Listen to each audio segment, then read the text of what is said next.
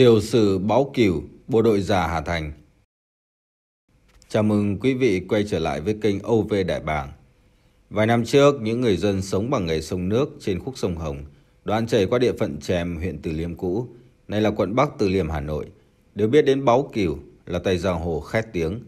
Hoạt động tội phạm của Báo Cửu cùng đồng bọn được Công an Hà Nội lưu giữ hàng tập hồ sơ và trong khuôn khổ có hạn của bài báo, chúng tôi chỉ nêu lên những vụ án nghiêm trọng do nhóm tội phạm này gây ra được lực lượng cảnh sát hình sự đặc nhiệm phòng cảnh sát hình sự công an thành phố Hà Nội phát hiện, đấu tranh triệt phá.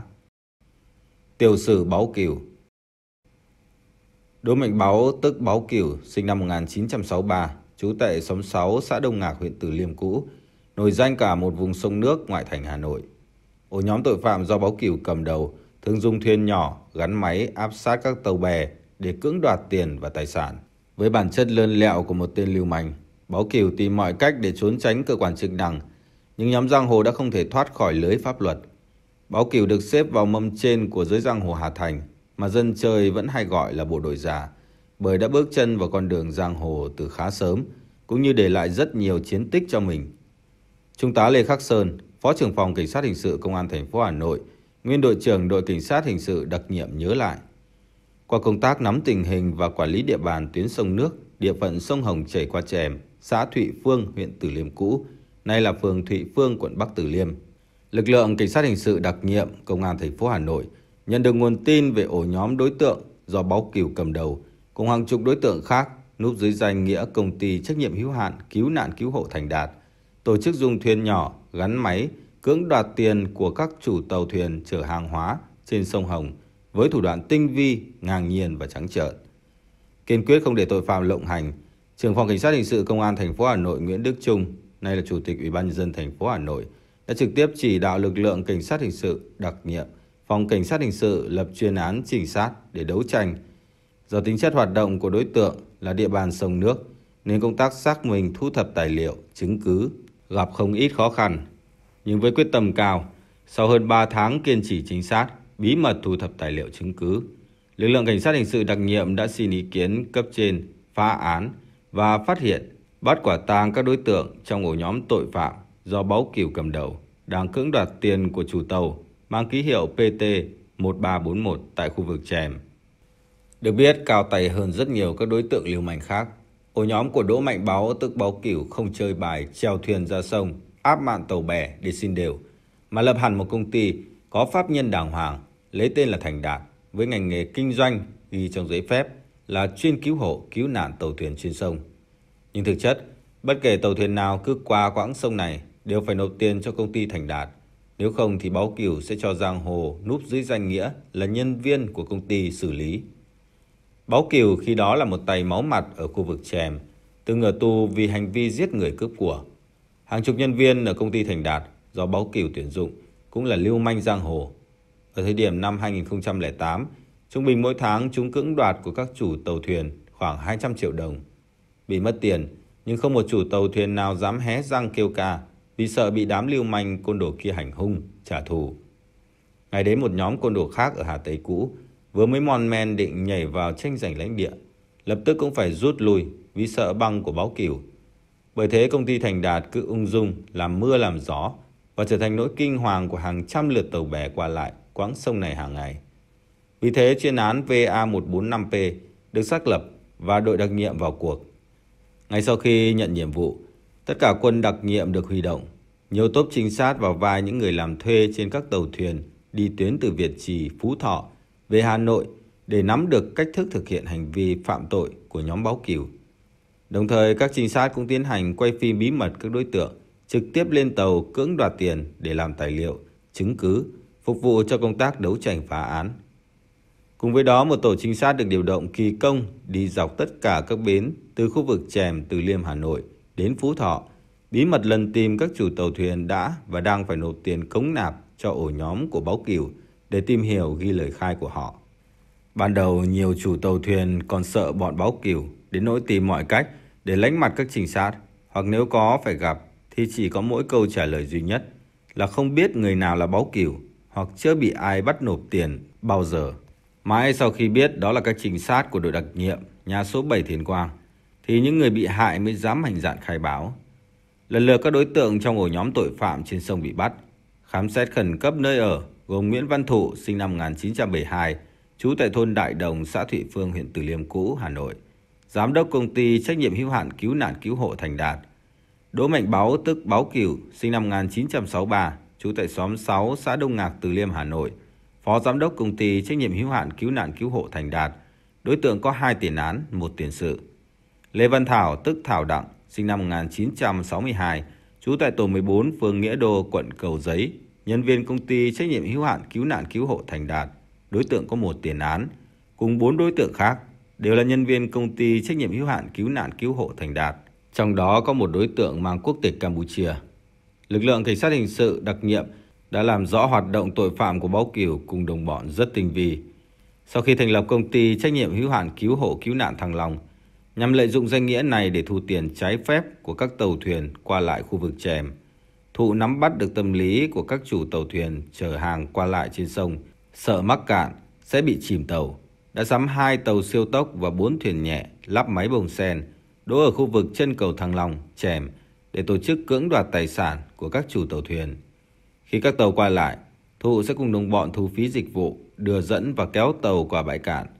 Tùy theo mỗi tàu thuyền tại thời điểm đó, Thụ thu từ 50.000 đến 100.000 đồng. Nếu các tàu không nộp tiền dịch vụ, sẽ bị chửi bới đe dọa. Mỗi ngày Thụ thu tiền của hàng trăm chủ tàu thuyền qua lại trên sông. Thực chất, Thụ cùng đồng bọn chỉ thu tiền mà không hề đưa dẫn luồng. Hoạt động sai phạm của Thụ bị lực lượng chức năng phát hiện, xử lý hành chính 3 lần và yêu cầu đình chỉ hoạt động. Để đối phó với việc kiểm tra của cơ quan công an, Thu đã xin đổi tên công ty thành công ty trách nhiệm hữu hạn Thành Đạt. Trong quá trình làm ăn, Thu đã va chạm do tranh chấp địa bàn với một số tay anh chị ở Hà Tây cũ và mời Báo Kiều làm phó giám đốc công ty trách nhiệm hữu hạn Thành Đạt để giúp Thụ làm ăn thuận lợi. Báo rủ thêm Thảo Đặng, cũng là đối tượng lưu manh chuyên nghiệp, từng có tiền án về tội giết người, cướp tài sản tham gia công ty. Sau đó, Báo Kiều đã tuyển thêm gần 20 đối tượng tham gia ổ nhóm này và bình quân mỗi tháng, công ty trách nhiệm hữu hạn Thành Đạt thu của các tàu thuyền chở hàng qua lại trên sông Hồng thuộc địa phận Chèm trên 200 triệu đồng chia nhau. Liên tiếp phạm pháp Với những hành vi đó, nhưng theo hồ sơ còn lưu của Công an xã Cổ Nhuế bàn giao cho Công an phường Cổ Nhuế 2 hiện nay, vụ việc sau này đã bị đình chỉ.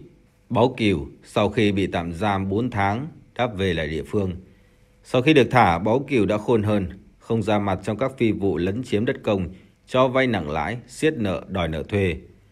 Một người dân trên địa bàn cho biết, Báo Cửu đã vung tiền đưa các thanh niên con nhà khá giả, được chiêu chuộng vào đời, rồi sau đó cho vay nợ. Khi gà đã vào chồng, Báo lợi dụng sự thiếu hiểu biết của người dân, bắt họ phải cầm sổ đỏ, rồi từng bước chiếm nhà và thậm chí hất cẳng chủ nhà ra ngoài ngay trong đêm mà họ vẫn ngơ ngác không hiểu chuyện gì. Một ngày đầu năm 2015, với bản chất hùng hằng, Báo Kiều cùng một đàn em đi ngây ngang trên đường đã gặp tổ công tác 141 và bị yêu cầu kiểm tra hành chính. Trong người Báo Kiều lúc đó có mang theo và đã bị lập biên bản chuyển về cơ quan có thẩm quyền. Đàn em Báo Kiều tiếp tục xà lưới.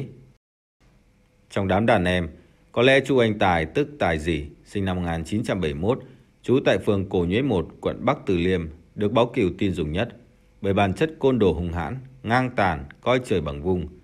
khi Báo Cửu bị lực lượng công an Hà Nội bắt và bị pháp luật trừng trị, Tài Dì ẩn mình một thời gian và đến tháng 3 năm 2014 đã bị lực lượng cảnh sát hình sự đặc nhiệm bắt về hành vi bắt giữ người trái pháp luật.